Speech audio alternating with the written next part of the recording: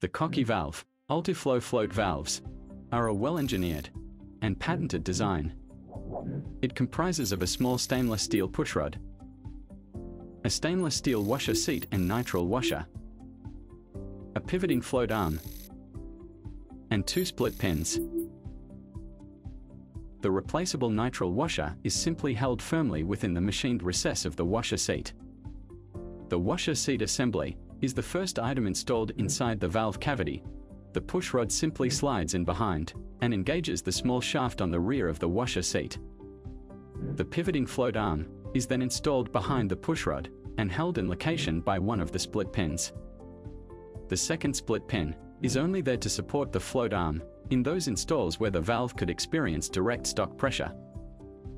Most troughs have a brass socket or coupling, cast or molded in, when the trough or tank is made. If replacing an existing valve with a new cocky valve, it is important to stop any water from entering the trough by first turning off the water control valve. Remove any existing reducing bushing that may have been installed and ensure the thread in the brass coupling is clean and undamaged. With cocky valves available in all matching sizes, just measure the size of the brass inlet and buy the cocky valve Ulti Flo kit that suits. After applying a thread sealing tape, the cocky valve simply screws directly into the existing brass socket. With the cocky valve installed, you must now fit the float. With the float fitted to the end of the arm, in this case using the short kit, the water to the trough can be turned back on.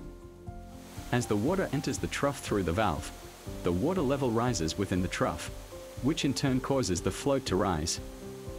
The float being attached to the pivoting float arm forces the float arm to lift, and as it pivots on the split pin, it exerts pressure on the push rod, which in turn forces the washer seat assembly to seal.